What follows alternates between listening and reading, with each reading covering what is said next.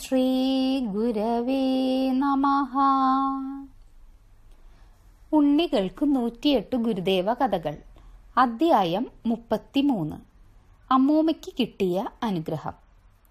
ഒരിക്കൽ ശിവഗിരിയിലും പരിസരത്തുമുള്ള കുറേ പേരെ പേപ്പട്ടി കടിച്ചു.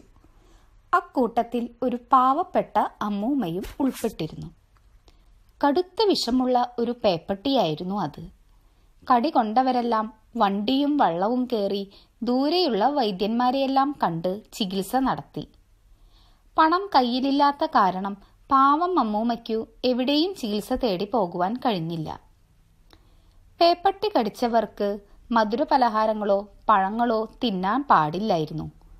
അങ്ങനെ ചെയ്താൽ പെട്ടെന്ന് പേയിളകി ചാകുമെന്നായിരുന്നു അക്കാലത്തെ വിശ്വാസം. എന്റെ മലങ്കര മുത്തി എന്നെ സഹായിക്കാൻ ആരുമില്ലേ ഏൻ പേയിളകി ചാകുമേ? ആ അയ്യോ. അമ്മൂമ്മ ഇടയ്ക്കിടെ വിലപിക്കുകയും നെഞ്ചത്തടിക്കുകയും ചെയ്യുന്നത് കാണാമായിരുന്നു. അവരുടെ ഈ പങ്കപ്പാടും സങ്കടവും കണ്ടപ്പോൾ ചിലർ ഉപദേശിച്ചു. ഇങ്ങനെ കരഞ്ഞാലൊന്നും മുറിവുണങ്ങൂല. ശിവഗിരിയിൽ ചെന്ന് ഗുരുദേവനോട് സങ്കടമുണർത്തിക്കി. ഒടുവിൽ അത് നല്ല കാര്യമാണെന്ന് അമ്മൂമ്മയ്ക്ക് തോന്നി. പക്ഷേ വെറും കൈയോടെ ഗുരുദേവനെ കാണാൻ പോകുന്നതെങ്ങനെ? എന്തെങ്കിലും സ്വാമിക്ക് കൊടുക്കണ്ടേ? അവരുടെ കയ്യിൽ ഒരു പഴയ ചക്രം ഇരിപ്പുണ്ടായിരുന്നു. അത് കൊടുത്ത് ശിവഗിരിയുടെ താഴ്വാരത്തുള്ള കടയിൽ നിന്ന് രണ്ട് പാളയൻകോടം പഴം വാങ്ങി ഇലയിൽ പൊതിഞ്ഞ് കയ്യിൽ വെച്ചു. അമ്മൂമ്മ വടിയും കുത്തി ഏന്തി വലിഞ്ഞ് ഗുരുദേവന്റെ അരികിലെത്തി. കയ്യിൽ സൂക്ഷിച്ചിരുന്ന പഴം രണ്ടും അവർ സ്വാമിയുടെ മുന്നിൽ സമർപ്പിച്ചു. എന്നിട്ട് പറഞ്ഞു ആരോരുമില്ലാത്ത പാവമാണേ വൈദ്യന്മാരെ ചെന്ന് കാണാനും മരുന്ന് മേടിക്കാനും എന്റെ കയ്യിൽ ഒറ്റ ചക്രം പോലുമില്ലേ? അവിടെന്നും കൂടി കൈവിട്ടാൽ ഏൻ ചത്തുപോകുമേ അവർ ഉറക്കെ കരഞ്ഞു.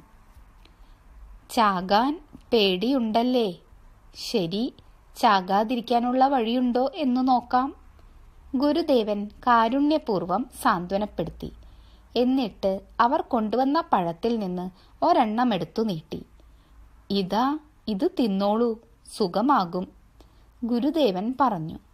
അയ്യോ പഴം തിന്ന അപ്പൊ പേയിളകി ചാകുമെന്നാണല്ലോ എല്ലാവരും പറയണത്. അമ്മൂമ്മയുടെ മുഖത്ത് സങ്കടവും പേടിയുമെല്ലാം നിഴലിച്ചു.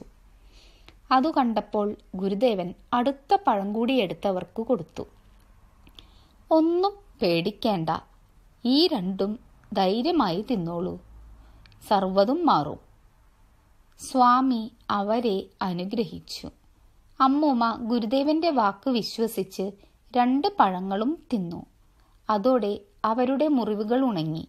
ഏങ്ങി വലിഞ്ഞു നടന്നിരുന്ന അമ്മുമ്മ വടിപോലുമില്ലാതെ ചൊടിയായി നടക്കുവാൻ തുടങ്ങി.